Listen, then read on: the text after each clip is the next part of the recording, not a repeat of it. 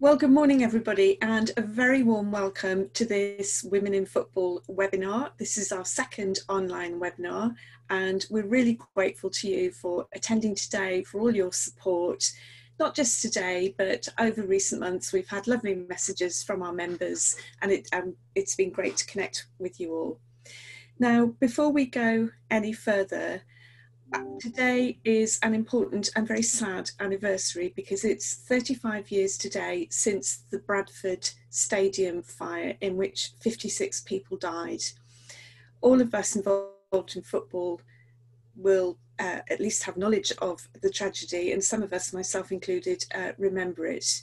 Uh, it was an absolutely tragic event uh, that people who were going to just follow their team and watch a football match should uh, suffer that dreadful disaster. So we think of everybody who uh, was and remains affected by the Bradford fire today. So moving on, uh, I'm delighted to welcome our two guests to this webinar, uh, Dr. Sian Massey Ellis and Ruth Shaw. And a little bit of an introduction on each of them. Ruth is the General Manager of the Premier League Charitable Fund, and she's a former Women in Football board member. Now, prior to her role with the Premier League Charitable Fund, Ruth held roles in the UK government and worked as Chief Executive of the Sports Ground Safety Authority and the Football Licensing Authority. She's also been named as one of the 50 leading lights in the Lloyds Bank Kindness and Leadership Awards. I'm lucky enough to call her a friend, and I would say that she is absolutely a leader and she's also one of the kindest people I know. Welcome, Ruth. Thank you. Sian needs no introduction as the first English woman to officiate at a men's European fixture and a familiar face from TV as a Premier League assistant referee. And she has a wealth of experience at the highest levels of the game and in every aspect of refereeing. I'm not just saying this because she's here, but I'm delighted to have the opportunity to repeat something I've privately thought for a long time. Best lino in the Premier League, Sian. Sian makes some absolutely fantastic calls. Uh, Sian worked as a fourth official at the Women's FA Cup final in 2009. I believe that was her first kind of high level game, but no doubt she'll talk more about that. And she's worked, she worked at an assist, as an assistant referee at last summer's Women's World Cup in France. So Sian's going to be sharing stories of her career, explaining how she first started working in football, and giving tips, advice, and support to those just starting out on their career journey. Welcome, Sian. And I'll now hand over to Ruth and Sian. Thank you. Thanks, Jane. It's uh, brilliant to be back amongst uh, women in football friends and family. Uh, I can feel the love and support already. Uh, and I would just say um, use the chat function to connect with each other if you like. There's a little box you can tick on that says message to all panelists attendees. And if you click on that, then everyone will see. Uh, feel free to introduce yourself, let other people know you're on the call, say who you are, what you do, or where you're from. Um, and then we can have a bit of a connection in the conversation as well as hearing from Sian, which is uh, very exciting. I'm looking forward to. So um, a few ground rules. I'm sure I don't need to say it because Women in Football is such a positive and supportive network. Uh, but do, if you're putting anything on the chat, let's keep it positive. Let's keep it polite. Um, this is something, a great opportunity for us all to learn from Sian and hear from her. So if you've got questions you want to pose, um, observations, reflections, pop them in that chat and we'll try and pick those up. Um, I'm going to take the next 30 minutes or so to ask some questions of Sian that we've been thinking about and dying to ask in advance, uh, but we'll also open it up to you if you've got some burning questions you want to put to Sian. So um, I'm going to start, I suppose, with a bit of context, which is it's nearly two months now since professional football was suspended uh, on 13th of March, Friday the 13th, and it's seven weeks to the day since the Prime Minister announced some of the restrictions um, on movements and, and they were imposed. And Sian, I wonder if you might say about how that unfolded for you and what your experience has been like in those seven weeks. Yeah, so I've been in a little bit longer than that because uh, my last game I was on was at Arsenal with Arteta. So actually I was in a couple of weeks before the official lockdown because of being in contact with Arteta. So I got a phone call um, same day it kind of came out in the press a little bit earlier in the morning, just to say that he tested positive and that um, basically I needed to self isolate because we shook hands at the end of the game, you know, like normal people. Um, so obviously I'd been in that environment, so that kept kept me in a little bit longer. But um, yeah. Brilliant. And and how's life changed for you? Kind of, uh, are there any challenges or silver linings to what you're experiencing at the moment? Yeah, it's um positives and negatives. I think I I used to really moan about the fact that I never got to really spend any time at home. Um, that I you know wasn't with my daughter a lot, even at the weekends when she was off school. You know, so that for me is a real positive that I'm actually getting to spend a little bit more time with her um, you know, do schoolwork, homework together, things, you know, as a normal mum does, to be a bit more of a present mum actually. So that's definitely um, a bit of a bonus. Uh, negative sides are actually kind of same, similar thought process really, that trying to be a teacher at home uh, is really difficult. Um, she's only four and a half, so she kind of needs me sat alongside her the entire time. So yeah, that's been quite difficult as well.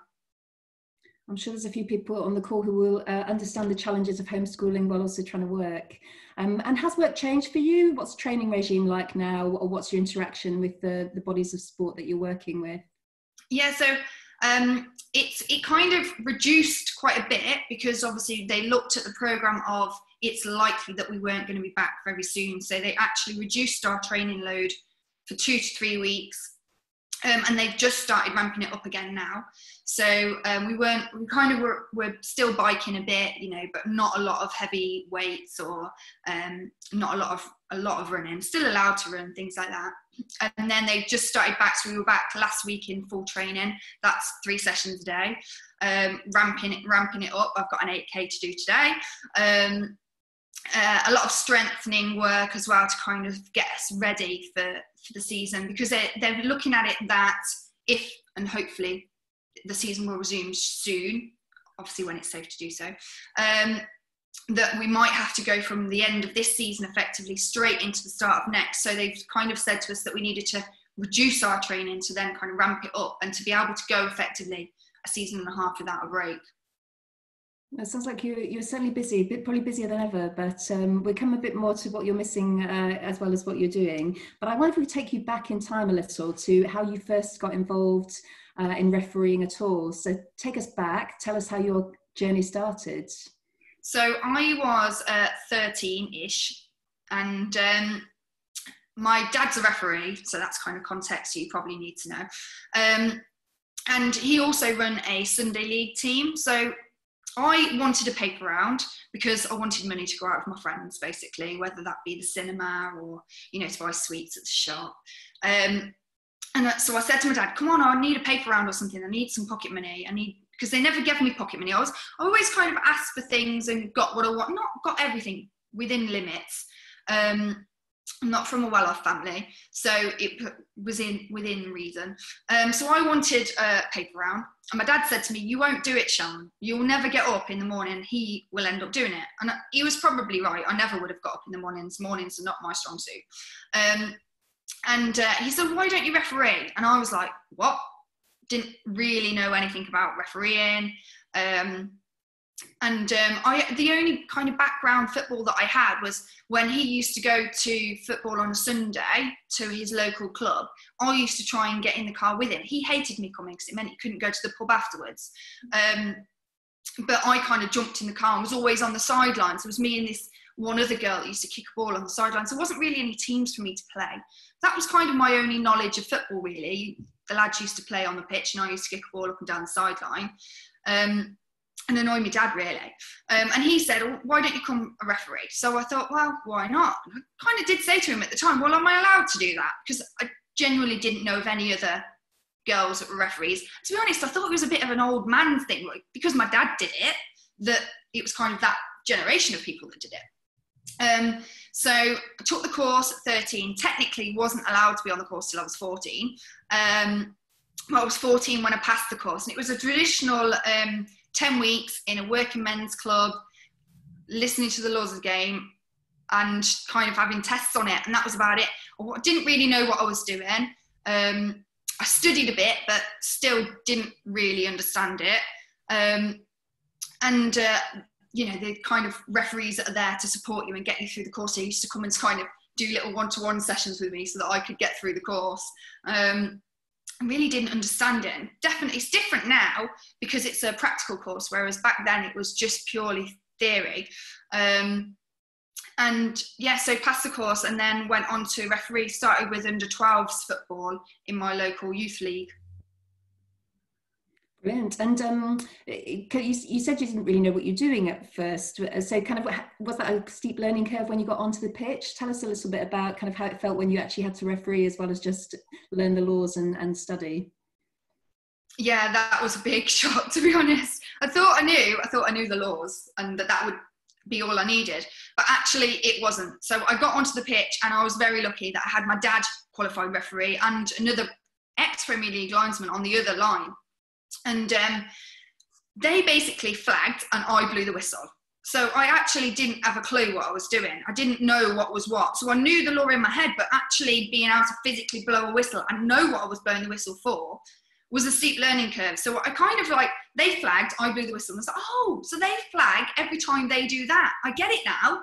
So I kind of learned very quickly like that. And I think that um, I started to get that actually it wasn't really the laws that I needed to know. I just needed to make the game fair. And I think that's kind of what my approach to it was. And I think that, you know, I was 14, 15, coming through that learning period of, you know, playing under 12s football, playing 25 minutes each way on a Sunday morning, um, that I kind of learned to I wasn't just there to be a lawmaker, if that makes sense. I was there to kind of teach the others the laws and to keep them fair. So I think, you know, things like foul throws, and under 12 does a foul throw, they don't really understand that they have to keep their feet on the floor. But I think I kind of like felt like I was more of a teacher. So that I was there to go over them and say, oh, you need to do it like this. And, you know, the amount of times I actually showed somebody how to take a proper throw in during a game of football. And I think that's kind of where I learned my trade. I learned my skills. So things like confidence, like, you know, I was 13, 14 year old girl stood in the middle with all these parents around the outside. And I really learnt to be quite confident. I had to trust my own decisions. I had to believe in myself. And that really actually was a life skill that I learned through refereeing. Um, and I think half time at them matches is a very lonely place, you know, because all the pl- players, the children, they go off to their parents or their coaches on the sideline. And You kind of stand there like, how long have we had now? you know, can we start playing again?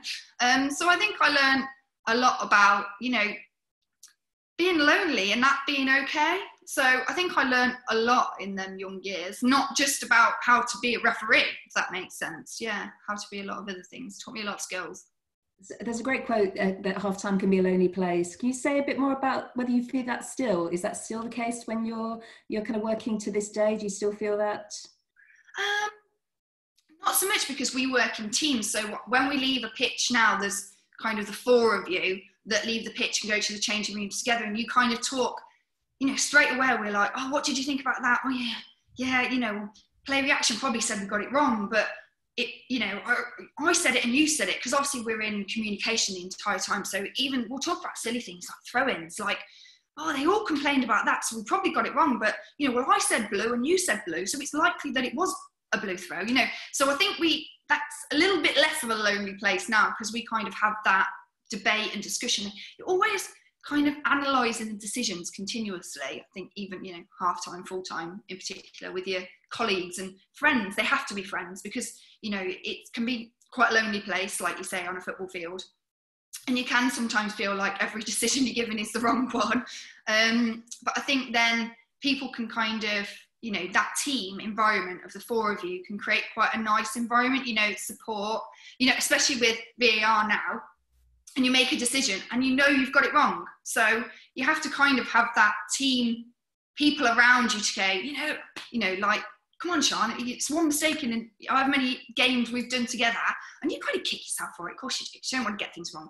But um, you definitely need that team environment. I think at half time can be very supportive I think that's a really key um, point for the network as well about support and where you find that support. Um, could you say a bit maybe about some of the champions or the allies that you've had along your journey? How important has having people support and champion you been to your professional development? Really, really important. And like people always say to me, oh, you know, if you've got a role model that you look up to or that you wrangle, but I don't think I really had that one person. I had lots of people that supported me. And I think, you know, from I remember, and it's a really vivid memory that I can really remember it from being so young, that um, one of my um, youth league operators chairman, kind of secretary, who appoints the referees to the games.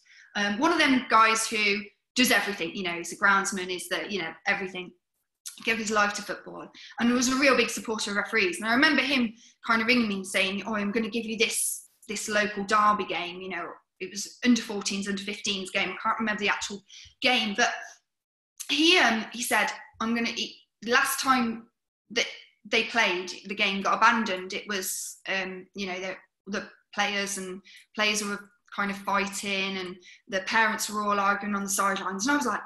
Oh, I'm not sure that I can do that. And he was like, No, Sian, you're good enough. You can referee this game. This is why I want you on it.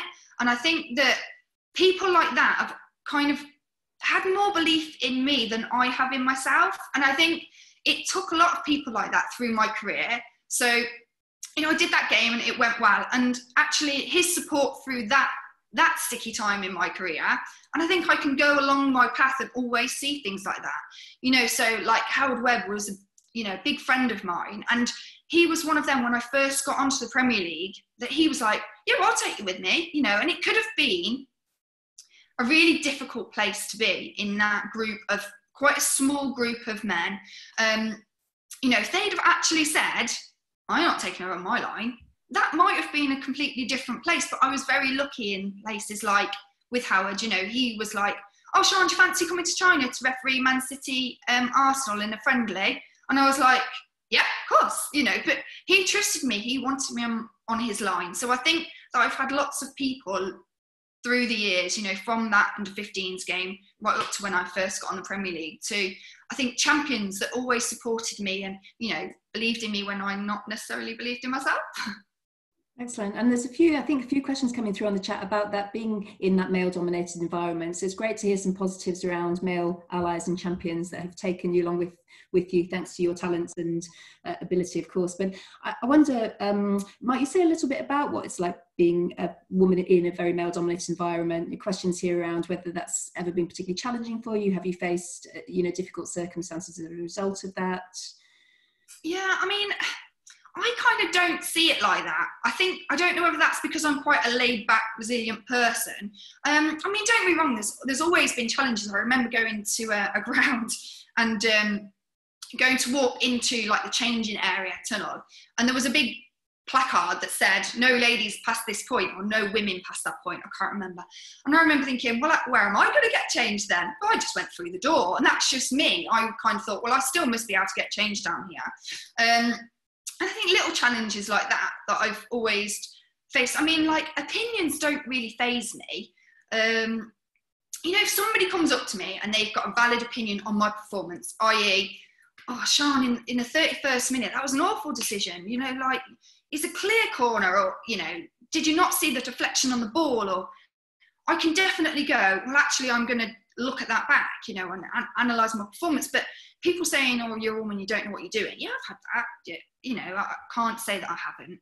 Um, but I think that I always kind of, kind of thought, "Oh, you know what? You just don't know what you're talking about. I'll just carry on doing what I do because, you know, like I'm quite a, you know, I, I think with being an assistant, being offside is quite black and white, and I'm quite a black and white person. So I think unless somebody shows me a video where I was wrong, I'm right because I think that's probably a skill that I've had to develop as a referee. I think you have to be quite confident and you have to believe in yourself because nobody else is going to trust your decisions. You know, when you're on a football pitch and you think, right, that's a, that's a throw in, it's that way, I've got to trust that decision. Until somebody tells me afterwards, you know, watch that video, you're wrong. I've got to trust in them decisions. I think that's the only way you become a referee. Um, most challenging is probably at youth football. That is a really difficult place to be. Um, and I think it, it really that stood me in good stead for my career as a referee, I think, because I think that's where you, you kind of learn to be very resilient. You learn to be mm. quite strong and quite confident. And it taught me all of those skills. It taught me how to communicate. It taught me, you know, when the you're at youth football and you know you've got two male coaches come up to you saying what line do you want us to run, and I have to say I want you to run left backs. And I know that involves them changing sides and having to be next to the opponent's team bench effectively. You know, not that we're in benches on on a low league football, but you know, having to be quite strong when they say, oh, "I don't want to swap sides," and then find somebody who does because I need you to swap sides. Um, I think that taught me that was a little bit more challenging because I was a young girl and kind of having to learn to be quite tough at that age was um, quite a challenge. And I think parents, parents could be the worst. That was probably one of the biggest challenge. And that doesn't mean whether I was male or female. I think for referees coming through, that can be quite a difficult place to be. We had a question in in advance actually from one of our WIF uh, members and it said, um, this is someone who referees junior girls matches. So just picking up on something you said then. And she asked, do you ever receive negative comments at matches and how does it make you feel? Uh, and I've seen another one on the on the feed. It's about how do you block out that noise from the stands. So I wonder if you might pick up those sort of two points together really about negative comments and the crowd. Yeah, it's, it's a lot worse actually at junior and kind of amateur football level. I think you can hear every single thing everyone says. So, you know, that kind of one man and his dog stood on the sideline, you can hear every word he says. Where if you've got 50,000 shouting at you, I haven't got a clue what they're saying. Um, so I think it's actually more tough at lower levels. Um, and I really do appreciate all the people that are still out there doing, you know, grassroots football because um, it's a tough place to be you know when everybody's shouting at you and parents in particular at youth football. I think that there's been a lot of work done on that you know and just hopefully that's a big improvement. Um, but i can't i genuinely can't hear a lot. I was at um, a premier league ground a few weeks ago and um, they came in the security came in at half time and said to me oh we've heard comments of um, abuse from behind you in the stands. Have you got anything to add? Some um, some people have reported it, and I said, I honestly don't have a clue. We have our communication system in, so I'm listening for the point the ball's being kicked. I'm talking to the referee and the other assistant. You know, and that, you probably don't appreciate how much talking goes on. So I hadn't got a clue that any of this abuse was going on. You know, it's just a roar. Um, so actually, kind of that's not a difficult thing really. Um, and so I said to this security guy, I, I, sorry, I can't offer any any support because I haven't heard anything. Um, and then at the end of the game, he came back and he said, "Oh, we've removed some people that were abusing you." Um, it's been dealt with. We had another fan report it, uh, which is great to hear that you know people are standing up for us officials on the sideline. Um, it's really difficult because I, we just don't hear any of it. I wish that you know I could do more about hearing it and you know reporting it and things like that. But it's just a roar behind you. Whereas I think at youth football, it's a lot more difficult and grassroots football because, you, like I say, you can hear everything. You know, the amount of times that I can, I can definitely more than once or twice that I've gone over to a parent and said, "There's a whistle. You think you can do it?" That I would go, and you, they'll go, "No, no, no, no, no. You know, you just keep doing it." And I think that kind of um, was kind of my response to it. And I, I did always try to call it out if I thought that parents were not showing a good example for their children. I think that was, again, like I said about the throwing situation, I think I felt like I was a teacher, and I think that, well, went on to be a teacher in my career as well. I think that kind of led into that, that I kind of always was, I tried to challenge it as much as possible because I felt like I was strong enough to do that. Whether uh, at some points I did kind of think afterwards, my dad came, comes to every game, still does. Um, and he, you know, at some points he just say to me, like, did you not think, what if, you know, what if somebody hit you? And I said, well, they'd only do it once, wouldn't they? And I think, you know, I kind of was never scared of that really. I kind of always thought that I had to be the strong one that kind of said to the parents on the sideline, no, you've got, you're a role model for these children on the pitch. Stop what you're saying. Excellent. And I mean, it's encouraging to hear that, that people are doing more about it now and calling out uh, the fans as well as um, kind of the officials. And because it sounds like from the chat that there's been a few of our members who've had a maybe a difficult experience. So that's that's positive and encouraging. Great to hear your experience is, is changing. Uh, the person who asked the question in advance said to keep up the good work. I'm sure you would say the same to her with her junior girls match refereeing. Um, a few of these questions that are coming through now, building on what you're saying, I think, around um, do you have strategies for that resilience and that self-confidence? Because it's coming through you're really strong kind of believer in courage your convictions stand up for yourself. But has anyone taught you that or is that something you've learned along the way? I think refereeing has taught me that which is uh, a bit strange. I think it, it definitely developed me as a person you know as a as a kind of 13 year old girl, I wasn't very confident. I had my small group of friends that I went out with, but I wasn't, I, you know, I, I wasn't probably one to stand up to people when they weren't doing the right thing. But that really came through refereeing. Taught me all of those skills. It taught me confidence, resilience, strength, mental strength. And I think now I've kind of turned that into, yes, I'm a strong character, but I'm very superstitious is that the right word to say? I do like my routines. I like to be in control of what i can control. So that is built into my kind of psyche i suppose. It's you know like i'll like to be at a hotel a certain time before i go to a game the night before. I like to eat the same things. I like to have a bath in the morning at, in my hotel before a game because we travel to games normally the day before um, eat in the hotel um, get up and have breakfast together as a team all of the officials that are staying together. And then you know i'm quite a routine. I play the same playlist on spotify. I like to have a bath.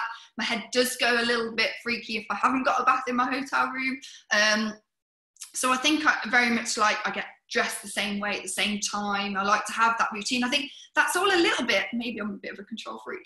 I like to control as much as i can control. So you know my my pre-match during the week will be that i will have known who's going to take corner kicks. I know who if they're going to play with players on posts. I like to control all all the information that i can control. I want to have done that already. So i'm a bit of a stickler for routine i think Excellent. Uh, interesting getting into the psychology of your routine and how you approach that. And somebody's asked a question about, you know, the psychological aspects of refereeing. How could a coach uh, help the referee or motivate the referee to have their best game? You know, is there anything that the coaches could do um, or coaches could do um, to make the job a bit easier or, or to help motivate and, and inspire you?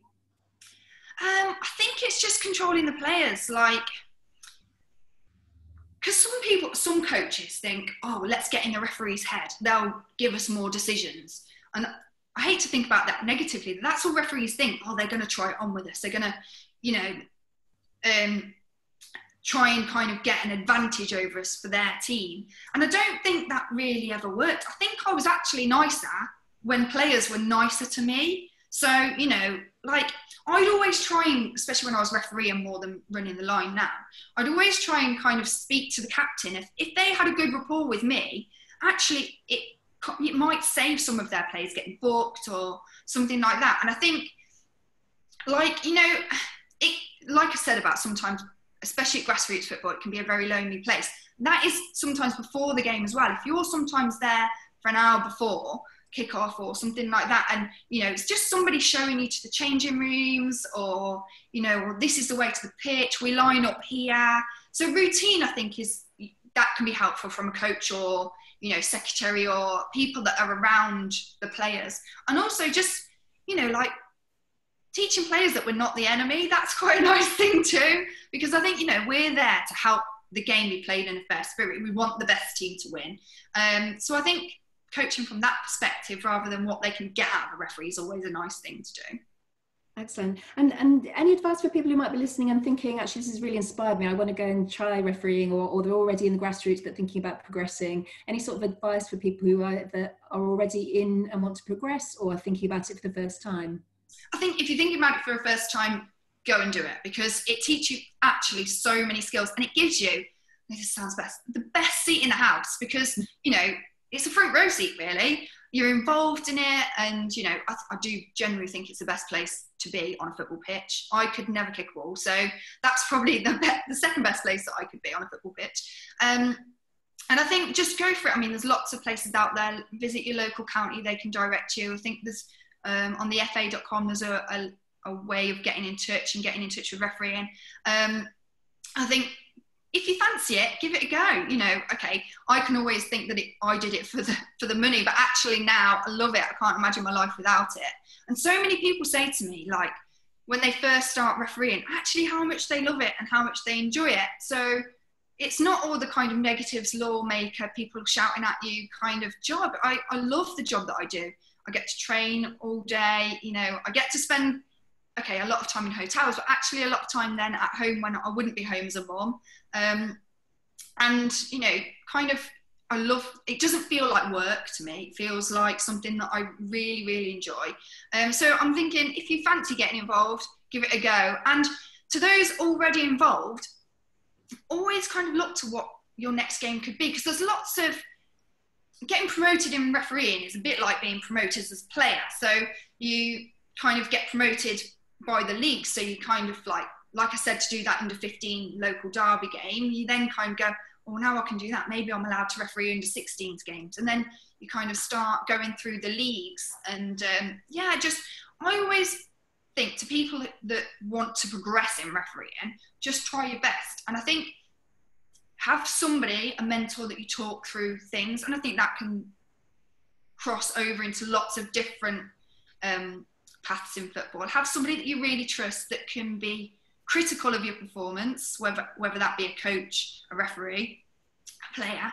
And because I always had my dad with that, like dad comes to every game now, so he's he's the most critical person that I have, but also my biggest fan. So he will tell me if he thinks I've got something wrong.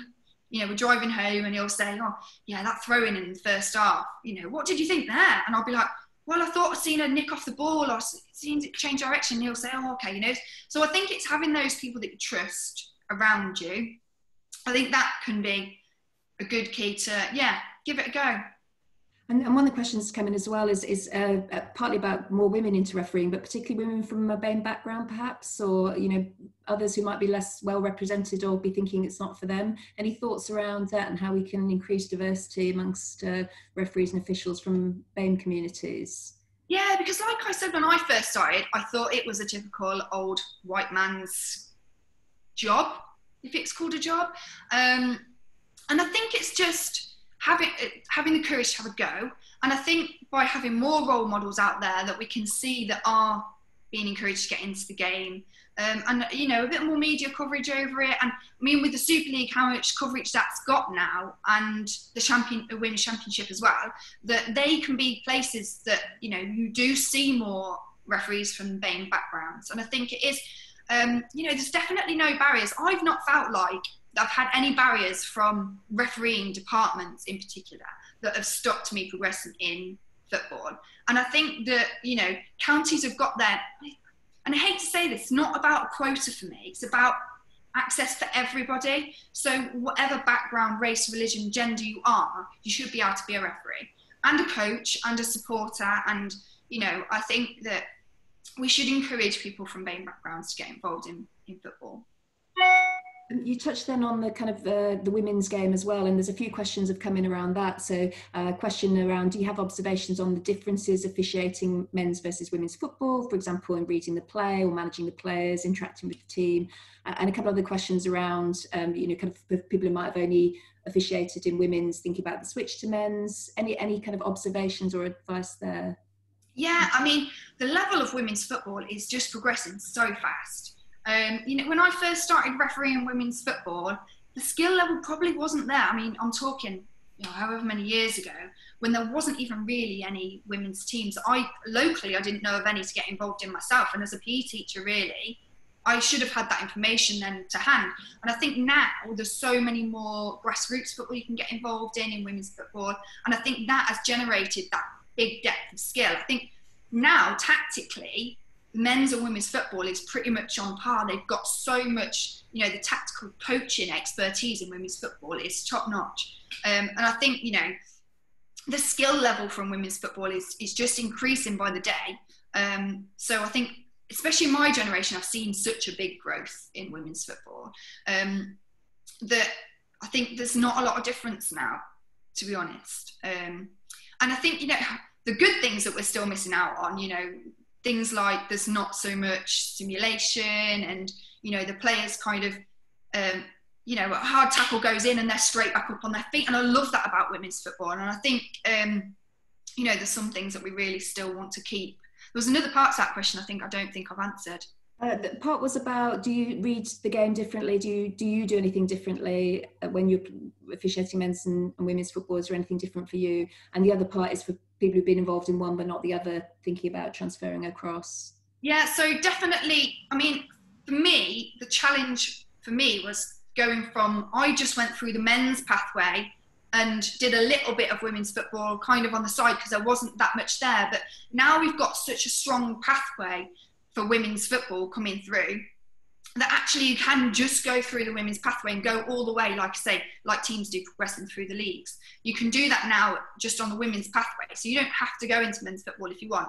But I always liked the men's pathway because it kind of I seen it as a way to harden me up. That if I could cope with it then, I could definitely cope with it in women's football, um, because like I say, all of them better routines that you get with women's football.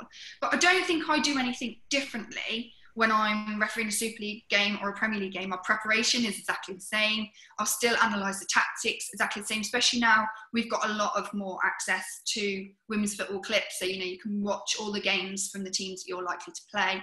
You know, we have lots of tactical stuff that we have access to. So, you know, you can you can set it up for just watching corners. Are there people on post? Because I know it sounds really crazy. And from a coaching perspective, people want to know, like, you know, do they um, play short at corners, you know, that kind of things. But they probably don't think that referees do things like that. Actually, impacts on our performance. So if teams play with people on posts for, for corners, for example, I know that they're going to be pretty much my last defender. So do they push out quick or not is a big influence on what how I need to prepare for them games. So I think um, a crossover there, tactical awareness is very similar. Prepare to to both exactly the same. Yeah. Excellent.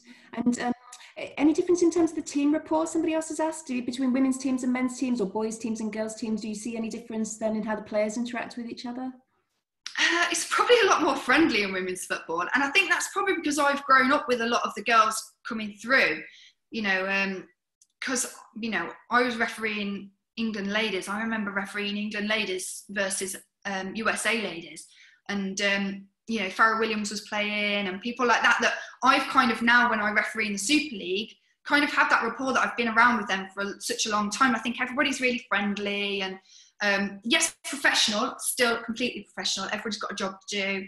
Um, they're all focused on their own routines and things like that. But I think everybody's got that kind of smile on their face around the changing rooms. You know, do you want a cup of tea? And like I say about that, what we talked about earlier about what can coaches do, and I think in women's football that's a lot more open i think you know you can kind of go yeah you sit down and talk with players before and after a game. Whereas i think with men's football especially at the high level obviously i've been kind of out of grassroots football for a while but i think in men's football they go there they do their job they leave in the cars. I think we're we're busting straight to our changing rooms. You walk out to the pitch. You kind of don't see so many people apart from you know you, you've got your security briefings you've got the police in you know you've got exchange of team sheets you've got managers in but you don't really have that time to sit in a boardroom and have a cup of tea so i think that's kind of a bit of a difference between men's and women's football which i hope women's football will keep because it's a really strong part of it and another question come in, which is about how do you, how, how many hours prep do you do on the teams before games, which is sort of related, I suppose, to that point you're making about how well you know the teams or the players.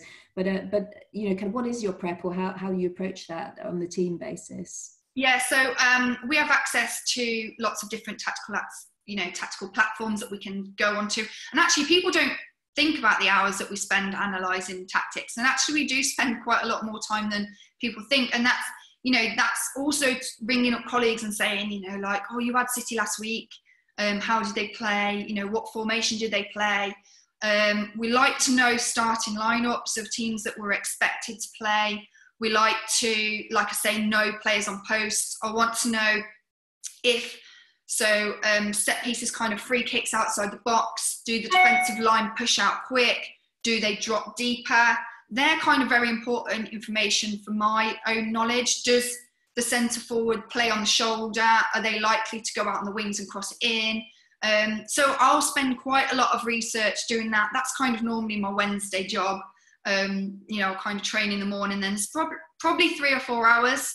Um, and then I'll probably do another bit on a Friday at a hotel just to kind of recap on and a little bit reading newspapers, what they think the starting lineups are going to be, apps and things that we've got that we kind of look out for. um, yeah, quite a lot of tactical tactical knowledge. Yeah. Um, when we spoke the other week, you were telling us about the kind of the way that FIFA and UEFA are preparing you and the sort of homework that you get to prepare for games as well. Maybe say a little bit about that for people so they know what you're doing when you're not, uh, when there aren't live games on for you to be working. Yeah, so at the moment they've upped their level of testing on us. It feels like testing. I think from their point of view, it's meant to be training, but it definitely feels like testing. Um, so at the moment on a Tuesday, we get sent five clips um, of offside decisions that you have to have. So they are sent at, I think it's eight o'clock UK time, um, and we have to have it back by 11 o'clock UK time. So then five clips you have to sit and watch and give an answer. So it's, and it's not only just the answer, it's the answer. So it's quite easy to say offside or not offside when you can freeze frame a clip. Um, the difficult part comes whether somebody impacts on an opponent. So they can be in an offside position, but whether they actually impact on an opponent and whether their line of vision and them kinds of things. Um, so they're some really tricky clips. They send us them on a Tuesday. We're also um, getting sent a set of women's clips that we do weekly. They tend to be on a Thursday and have to be back by Sunday. Um, again, another five clips. Um, we're also doing a perception test at the moment, which is really difficult. Um, it's good for my brain to keep, you know, so it's um, quite hard to describe. I'm trying to think of the easiest way to describe it. Um, you've got the camera effectively as if it was on my head, and I am moving up and down the pitch with the last defender. Um, the defender's push out, the ball is kicked, the attacker crosses over, um, and you have to say, so you only get it like in normal speed. This is not a slow it down frame by frame, send the picture on more and more um, you get one chance to make a decision. You then have to decide if it's offside or not offside. You then have to choose from five pictures of which picture it was when, the ball was kicked. So were the players this far apart, this far apart, this far apart, or this far apart? Um, and that is really, really difficult. So I had one clip the other day where it was um, a short corner was taken, so the attacker was on the far side, took a short corner, um, and then the the, that attacker passed it in, and it was whether there was actually two millimeters extra from one frame to the next, so whether the player was kind of on or not. Which obviously, from my angle, I've got two posts, the goal posts between me and him, who's the kicker of the of the corner. So it's really hard. You could literally see two millimeters extra of him, and that was a different picture. So yeah, it's quite testing. But I think they're sending us lots of stuff. We've got um, we also have to fill in a daily polar file. So we're tracked from the Premier League, PGMOL, my bosses, they track our polar files to see how fast we're running, and we have a GPS tracker that we have to wear for all our training sessions. So that is also sent to PGMOL and sent to FIFA and UEFA. Um, and they send us training plans every day. So we're physically training and kind of mentally training.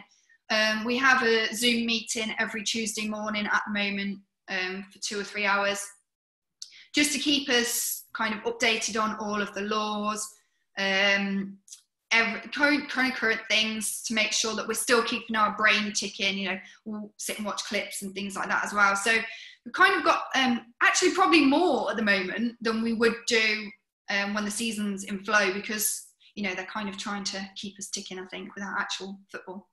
Brilliant. Uh, you're probably touching on a few things that some of the questions are coming through around VAR, um, the laws or offside rule, uh, and also some stuff about prep for lockdown. I'm not sure we can get through them all without another whole hour, but maybe it's a topic for another session. But just it sounds a little bit like some of the stuff you're saying there around preparing to return to football. Is there anything else personally that you're doing? Obviously, it sounds like they, they're keeping you tested or challenged with the the tasks and also the training. But any thoughts in your own mind about your personal preparation for mental or physical for, for that possibility? Yeah, a little bit tough because it doesn't look like there's going to be any friendly matches. So normally in a kind of closed season, you'd have that period of rest and then you'd have some friendly matches. It's a bit like, you know, they say it's like riding a bike, and it does definitely feel like riding a bike. A situation happens and you make a decision, and it has to be that kind of instinctive decision that you make and you kind of have to trust that that will still be there.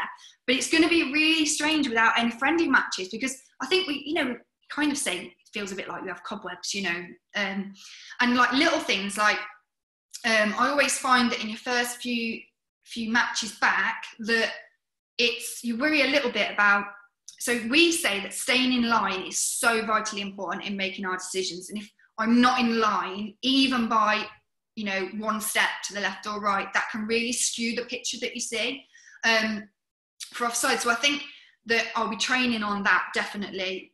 Oh, silly things that you can do at home. So I'll be having my husband out with a video, you know, and I'll be making him create me situations and things like that, so that I can still do those things because I don't want to have them cobwebs. I want to be in line and making sure that I am perfectly placed, and especially because sometimes your, your eyes can trick you, I think, in running the line. You tend to, if you look slightly to the left and you watch the ball, your defensive line could have dropped or pushed up by a meter and you're out of position. And it's that kind of like sharpness that you need to be to have really, which you'd normally get rid of with friendlies. So um, that's got to be with, done with the likes of our perception tests and you know trying at home to be you know keeping up with things and whether that be moving with the dog when he moves i move you know it's silly things you know i'm going to have to kind of like make up that we're without the benefit of having a friendly match really before our next I'm, I'm, sure chasing around after a four and a half year old and a dog is going to keep your keep your eye and I'm sure there's you know everyone on the call has the same confidence in me that you'll be back and, and straight back on your game. Uh, there's a question that's come in around um, pay in uh, for referees generally, but referees in the women's game, um, and and sort of is is that potentially a barrier or risk? I mean, I think I think you probably started on was it twenty five pounds a, session as a, as a referee back yeah. in which probably seemed like a fortune at 13 but uh... yeah i mean it was great i brought my first car i used to save all my football money and bought, bought my first car with it um, and I, on a positive note because we don't really tend to spend any nights home don't drink and you know we eat quite healthily so you know not really having takeaways and things like that so in some ways we kind of save money in that respect that we're not out all the time um, but i think that it's a big gap still um, you know the that I'm very fortunate to be in the position that I am, that I get paid to be a full-time athlete. Um, I get paid to train and I get paid for matches, um, and that we're on a salary and we're very much protected in that terms. When I first started on the Premier League, we weren't full-time as assistants. Um, that we, you know, I had a full-time job as a teacher. I remember um, I remember asking my head teacher if I could leave at one o'clock because I needed to get to Sunderland for a 7.30 kickoff on a night. So, you know, I'd be at school early. So she'd always want something back from me, you know, so I'd be doing an extra trampolining class from seven till eight in the morning before school so that then I could leave at one o'clock. I'd get one of my other members of the department to cover me. So I'd be buying them chocolate biscuits, you know, things like that. It was always kind of a favour. I remember then driving up to Sunderland to do a game a night match, getting back in at two o'clock in the morning after the game and starting starting teaching again the next morning. So I think that's a really tough environment, and our girls are still doing that. Girls and men are still doing that on our Super League, and you know I'm a big advocate for this needs to change because God forbid we have somebody who is driving back from wherever on a night game because they've been up at stupid o'clock in the morning to do a game. I think it's something that I'm really passionate about that needs to change. Um, we're expecting professionalism from the players, and they are professional, and we're expecting professional professionalism from referees, and they're having to do all this tactical preparation and all of this training along with a full-time job and having to travel to games. You know, it's difficult, you know, when you're expecting people to be away from their families because, you know, we've got somebody on the south coast travelling up to Man City for a 12 o'clock kickoff on a Sunday. They have to travel on a Saturday. So they're there. You have to be at the ground three hours before. So, and then you're there with the assessor afterwards. Then you've got the evaluation system, which is what we are evaluated on after, which is video analysis of our performance now. Um, you know, all of that takes time. And I think that we're asking people to go and do that for £60 is too big of an ask for me. Um, I this doesn't apply to me now because I've got a full time job. So my match fee doesn't really come into it. But I think it's something that really does need to change. Um, you can only ask so much of them, men and women. Um, but it's on the way. You know, I'm very passionate about it, but we're having lots of talks. The FA are in lots of talks. And the Super League, I think, want the same thing. They want professional referees. But it all comes down to budget as well, doesn't it? It's difficult.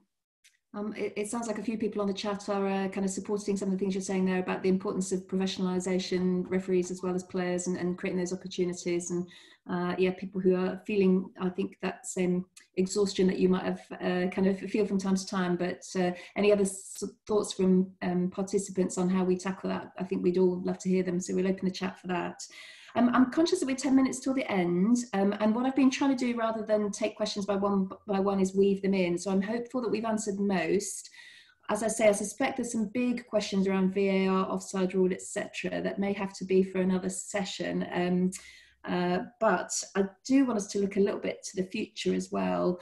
Um, and I guess, uh, you know, from your perspective, Sian, kind of despite these uncertain times, uh, what are your hopes or dreams, goals for the future? What are you thinking about at the moment? In short term, it's being back on the pitch. Um, but longer term for me, I feel like I, I'm so passionate about women in football, women in sport, that I really feel like I should be doing more um, you know, I really am a big advocate for um, equality, and um, I feel like you know sometimes I've got a platform that I don't utilize enough. Um, so for me, I, I, kind of want to go into that next after after my refereeing career.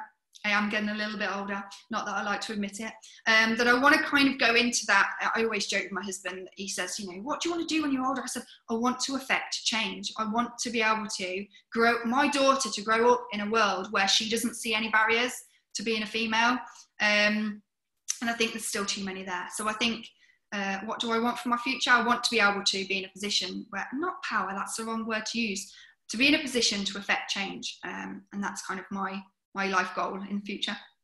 Excellent. Uh, as you're talking about the platform, I was thinking about the Megan Rapinoe quote. It says, you know, it's everybody's responsibility to use whatever platform they have uh, to, to try to do good in the world. And I think it sounds like, um, you know, by being a role model, by working as hard as you are and being, you know, kind of such a great uh, inspiration for so many people, you're definitely doing that. So I think um, I, would certainly encourage you to continue to use that platform and, and your voice for good. So, any kind of um, you mentioned your daughter there. Is any advice you would give to her or, or your younger self looking back? Kind of anything you wish you'd known or you'd like to tell your daughter as she kind of embarks on whatever her future holds? That sometimes life throws a curveball at you, and I think that just trust in yourself, have confidence, be a bit resilient because hard work pays off. And I think that for me, that's always something that I have abided by. And I'm glad that I have abided by that, that, you know, things don't come easy. I mean, fitness for me does not come easy. To be able to keep up with the players on the pitch, I have to work very hard. You know, um, to be able to keep up with the likes of Sterling, you know, I've got to be able to work hard. I work extra hard on my sprints and my speed. So I think, um, yeah, work hard and good things come to those who work hard. Excellent. Um, well, I mean, it's certainly inspiring me to work a little bit harder. I'm not sure I'll be out for an 8K run later, but you never know. It looks like we're still getting a few final questions in, but I'm conscious that we haven't got a lot of time left. Um, a, qu- a, quick couple that are media related that are just um, one that's just popped on, which says, do you think referees and assistants should be made available for interviews after the matches? This could be a quick yes, no, or it could be a, a of... sometimes I wish I could say, do you know what? It was my fault. I was a yard ahead of play and I've missed it. You know, part of me thinks, but I don't know whether that would be helpful to anybody, you know. And I, then I think that sometimes we're just going to get the same questions of, you know, you were wrong and you've cost this. And, and I don't think that's helpful. But I think we are doing a lot more media work now than we ever used to be allowed to do. So I think, you know, our, um, on a Monday, we have Dermot who comes out and kind of explains things. And we now have our own media the department that do come out and i mean even sometimes they get it wrong. And i think um, coming out and you know coming out and saying yeah you made a mistake what what benefit does that give to a, even anybody listening? I you know okay we can come out and say yeah got it wrong. Deathly silence. Like what, what more you know what more do you want us to say kind of when we do get things wrong? Um, so i kind of I, I, do and don't, if that makes sense. Because sometimes I do want to come out and say, I'm sorry, everybody, got it wrong. And I know that's cost this team this. Um, but at the same time, I do think we'd be saying the same thing every week because we it's always going to be about our mistakes that we've made. So Mm. A final related one on media. This is a question I think popped up before, and I was hoping to get a chance to bring it in. But you know, think about maybe stuff that's in the media that's maybe negative or critical. Um, do you read that, or do you ignore it? That social media and press reports. What's your strategy? Um, I don't tend to because I'm a very big believer in trusting my own decisions. And actually, we get analysed so much that it can be negative mentally. So, you know, if I've especially with VAR now, we know when we've made a mistake. So, you know, I was at a game the other week, flagged offside, it wasn't offside, got overturned. So you've got to go through the rest of that game knowing that everybody knows you've made a mistake. So, you know, we know when we've made mistakes, and because of our evaluation system after the and I think people don't think that referees hate getting things wrong, hate it. It's mm. like when I'm driving home from a game and actually, I quite like VAR in that respect because when I'm leaving the ground, I haven't changed the outcome of that game now. So, you know, when I made that mistake the other day, the other week, um, you know, I was going to rule a goal off that should have been given. That mistake got overturned there and then. I wasn't leaving the ground thinking, you know, oh my God, that result should have been a completely different result because that is the worst feeling in the world. So I think that in that terms, there's no point in reading media, you know, if if you know that this referee was awful today or this referee was awful today because we have our evaluation system, our coaches, um, you know, Stockley Park with VAR now they can listen into what we're saying. So don't we not only analyze decisions, we analyze how we got to that decision. So you know, like so a lot of it is yes what we see, but also what we feel or what we you have to sometimes you have to put two and two together in football. Well, the ball went in this direction, so it must have come off this person. So a lot of it is kind of like not guesswork. That's the wrong thing to say. It's about using our experience to get the right decision, um, and knowing that normally if this and this happens, this has happened to cause it. You know that kind of thing. And I think that when we have our evaluation come through, then normally on a Monday, Tuesday, you've got every single decision that you've made in a game. So minute by minute, and then you've got like a color coded system. So I'm like, you open it and you go, green, green, green, green, green, red. And like, and you think to yourself, right, okay, and you open the clip and you think, right, I've got that wrong. Why have I got that wrong? Was it my positioning? Was it that I was looking at the wrong thing? That kind of thing. So I think that, that kind of gives me all the evaluation I need really. So I don't think I need it from the media. I think it's brilliant that you're you're always learning by the sounds of things. So I think the attitude's great. And uh, again, think of the, another quote popped in my mind, Nelson Mandela, and he said, "I never lose, either win or learn." And it sounds to me like that's absolutely the attitude that you're taking, Sian. It's been so inspiring to hear from you today. And I, I can see on the chat as well a lot of people who really appreciate how open you've been, how um, thoughtful, and, and who will really just wish you all the best kind of as you return to um, kind of return to officiating, refereeing. And, and yeah, just a huge thank you from me. And I'm sure on behalf of everyone else for a fascinating hour. I could, I could do it. Thank you for having me. Thank you. Over to you, Jane. Yeah, listen, amazing. Um, thank you both. That was absorbing, it was fascinating, a real insight into the game from a woman at the top of her game.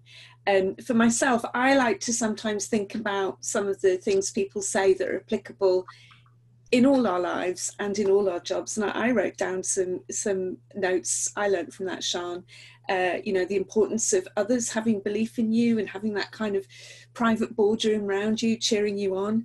Uh, everything you said about confidence, resilience, and mental strength, and it doesn't come from nowhere. We all need to work on that. Um, mentors, the importance of, of, mentors, the importance of increasing increasing diversity. Um, hard work pays off. I completely agree with that.